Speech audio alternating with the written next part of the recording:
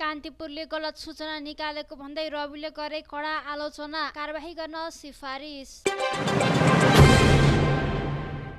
दर्शकबिन कान्तिपुरले गलत सूचना छापेर भ्रम फैलाएको भन्दै रवि लामी छानेले कडा आलोचना गरेका छन्। उनले बुधबार फेसबुकमा कान्तिपुरले सहकारीको विषयलाई तथ्यहीन सामग्री बटुलेर भ्रमपूर्ण समाचार छापेको बताएका छन्। साथै कान्तिपुरले पटक पटक यस्ता गलत सूचना छाप्दै माफी माग्ने गरेको र अब माफीले नपुग्ने भन्दै सरकार समक्ष उनले कान्तिपुरलाई कारवाही गर्न माग समेत गरेका छन्। रविले लेखेको स्टाटस यस्तो रहेको छ। हिजो राति दिएको बयान हिजै कान्तिपुरले पाइसकेछ आजै छापी पनि सकेछ बयान पनि कस्तो ठ्याक्कै कान्तिपुरलाई चाहिएको जस्तै फेरि। संसदीय समितिमा छविलाल जोशीका बयानको मसी सुकेको छैन। महिना दिन अघिका ताजा बयान लिखित रूपमा सार्वजनिक छन्। कान्तिपुरको नियत बारे त मैले फेरि भनिराख्नु परेन। गलत लेख्ने फेरि माफी माग्ने फेरि अफवाह लेख्ने फेरि माफी माग्ने। मलाई कसरी फसाउन सकिन्छ भनेर रचिँदै गरेको षड्यन्त्र बारे कान्तिपुरले आज क्वेसन आउट गरेछ। सूचना चुहाएर हाम्रो आशंकालाई सही साबित गराएछ।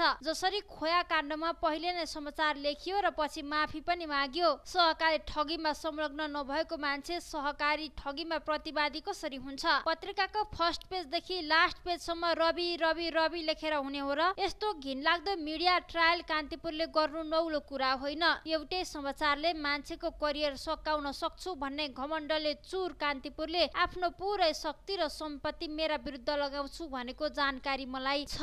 न्याय र सत्य पनि किन्छु भन्दा आज कहाँ पुग्यो कान्तिपुर? इतिहासमा लोकतन्त्रको पक्षमा सबैभन्दा धेरै लेख्ने मिडिया कान्तिपुर भन्थे। तर आजको मितिमा सबैभन्दा बढी अफवाह फैलाउने र माफी माग्ने मिडिया कान्तिपुर प्रमाणित भएको छ। उसले लाज पचाएर माफी नमागेका समाचार त कति छन् कति? म त सामान्य सञ्चारकर्मीबाट देशको उप प्रधानमन्त्री मन्त्री र एक्काइस सांसद सहित चौथो दलको नेतासम्म भइसके। एउटा आम मान्छेका लागि यो आफैमा गौरव हो। म यही मोडमा हारे भने पनि त्यति तल झर्दिन जति तल आज त्यत्रो गौरव बोकेको कान्तिपुर झरिसक्यो। मेरो लडाई त बाँकी छ तर त्यो कान्तिपुरसँगै होइन। अब सरकारले जवाफ दिनुपर्छ। कान्तिपुरलाई खुसी नपारी बाँच्न नपाइने हो। तिम्रो मालिक कान्तिपुर होला मेरा मालिक जनता हुन्। समिति प्रहरी अदालत भन्दा कान्तिपुर ठुलो हो भने ठिक छ। म कान्तिपुरसँग कुरा गर्न आउँछु। आफ्ना भयभरका पत्रकार र प्रश्न ठिक पारेर राख्नु। सारा जनताले हेर्ने गरी तिम्रो प्राङ्गणमा वा सार्वजनिक स्थानमा लाइभ गर्ने व्यवस्था गर्नु परेको जिम्मा सरकारले र कान्तिपुरले लियोस्। यो अत्याचार विरुद्ध म लड्छु। यदि यसो होइन भने सरकारले तुरुन्तै आज कान्तिपुरमा प्रकाशित समाचारको खण्डन गरोस् र भ्रम छर्ने कान्तिपुरलाई तुरुन्तै कारवाहीको दायरामा ल्याओस्। अब कान्तिपुरले मागेको माफीले मात्रै पुग्दैन। दशकबिन कान्तिपुरले बुधबार बिहान प्रहरीमा छविको बयान गोर्खा मिडियामा सहकारीको रकम ल्याउने आइडिया रविकै हो भन्ने शीर्षकमा समाचार लेखेको थियो। पूर्ण समाचार यस्तो रहेको छ। सहकारी ठगी तथा संगठित अपराधमा अनुसन्धानमा सघाउन केन्द्रीय अनुसन्धान ब्युरो सिआइबीको टोली पोखरा पुगेको छ। सूर्यदर्शन सहकारीको बचत गोर्खा मिडियामा ल्याएर अपचलन गरेको आरोपमा प्रहरीका पूर्व डिआइजी छविलाल जोशीलाई काठमाडौँमा पक्राउ गरी कास्की पुर्याएपछि सिआइबीले इन्सपेक्टर शिशिर थापा र सही रवि घिमिरेलाई पनि पोखरा खटाएको हो। जोशीलाई संगठित अपराध र ठगीमा थुनामा राखेर अनुसन्धान गर्न जिल्ला अदालतले प्रहरीलाई सोमबार पाँच दिनका लागि अनुमति दिए दिएको छ। कास्की प्रहरीका अनुसार जोशीसँग जिल्ला सरकारी वकिल कार्यालयको रोहवरमा प्रारम्भिक बयान सुरु गरिएको छ। बयानमा जोशीले आफू सुरुवाती चरणमा गोर्खा मिडियामा सञ्चालक समिति उपाध्यक्ष बनेको र छोटो समयमै लामिछाने र राईबाट अलग भएर बाहिरिएको बताएका छन्। सहकारीको रकम गोर्खा मिडियामा ल्याउने र त्यसको तजबिज रवि र जीवीबाटै भएको हो।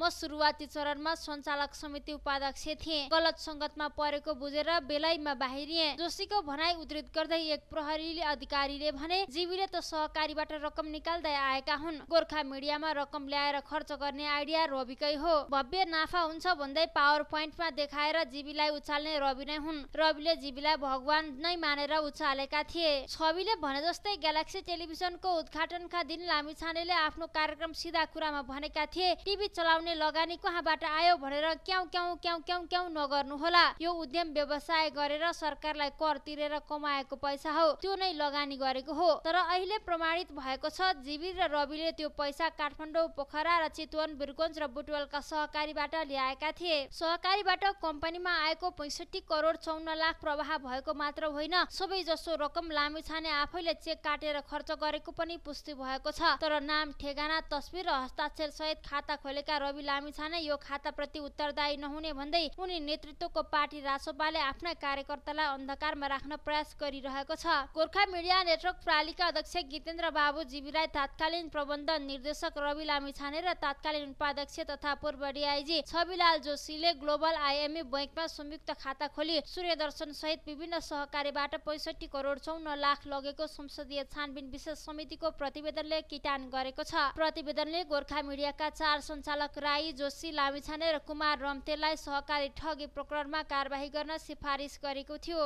प्रतिवेदन कार्यान्वयनका लागि संसद सचिवालय प्रधानमन्त्री कार्यालय गृह मन्त्रालय हुँदै असोज छमा प्रहरी प्रधान कार्यालय पठाइएको थियो। त्यही दिन प्रहरीले जरुरी पुर्जी थमाएर पूर्व डिआइजी जोशीलाई काठमाडौँको शङ्खमूलबाट पक्राउ गरेको थियो। लगतै उनलाई जहाजमा कास्की पुर्याइएको थियो। कास्की प्रहरीको अनुसन्धान र पोखरा महानगरपालिकाको छानबिनमा सूर्यदर्शन सहकारीको बचत गोर्खा मिडियामा लगेर अपचलन गरिएको पुष्टि भएको थियो। त्यही प्रकरणमा पहिलो चरणको अनुसन्धान सकेर दुई हजार अस्सी असोज अठारमा कास्की जिल्ला सरकारी वकिल कार्यालयले सूर्यदर्शनका संस्थापक अध्यक्ष राई सहित उन्नाइस जनालाई प्रतिवादी बनाएर एक अर्ब एघार करोड रुपियाँ बिगो माग दावी सहित अदालतमा ठगी सम्बन्धी मुद्दा दायर गरेको थियो। उक्त मुद्दा अदालतमै विचाराधीन छ।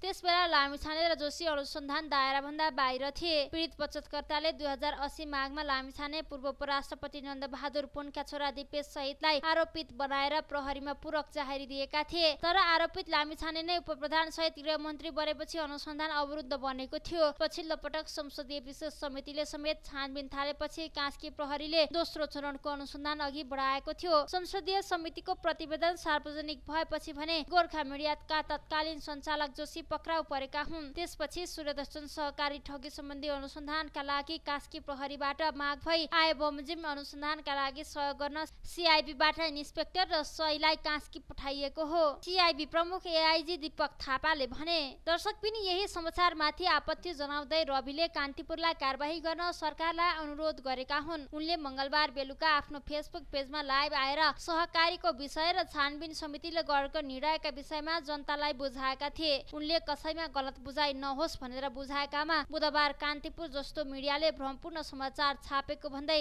आपत्ति जनाएका हुन्। दर्शक पिन पछिल्लो समय बढ्दै गएको पित पत्रकारितालाई तपाईँ के भन्न चाहनुहुन्छ? कृपया कमेन्ट बक्समा आफ्नो विचार राख्नुहोला।